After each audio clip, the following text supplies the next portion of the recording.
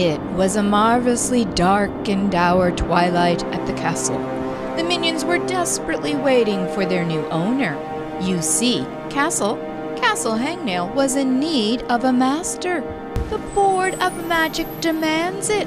Mad scientist, evil sorceress, lonesome hag, vampire lord? Finally, a wicked witch accepted the invitation. The castle guardian anxiously opened the door.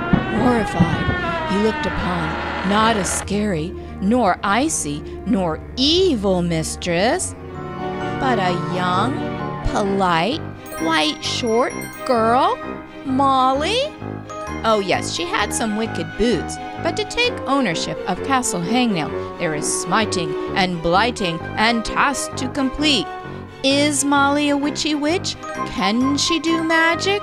Will donkeys turn into dragons? And why are people scared of shadows? Read Castle Hangnail by author Ursula Vernon to find out. It's wicked fun.